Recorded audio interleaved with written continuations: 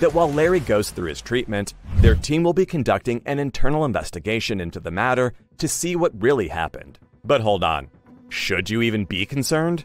I mean, the guy's literally serving a prison sentence for some serious crimes. So, is he really entitled to people's sympathies? He's sentenced to two separate sentences here. One is a 60 year long one for charges of crimes against minors. But if that wasn't disgusting enough, Nassar was also sentenced to 175 years in prison in a Michigan state court after more than 150 women and girls came out in court to speak up about how he abused them over 20 years. Yikes.